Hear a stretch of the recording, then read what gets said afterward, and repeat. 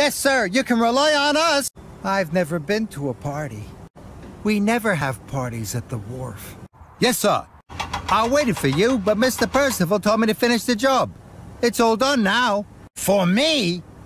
What a wonderful party. Thank you, Freddy.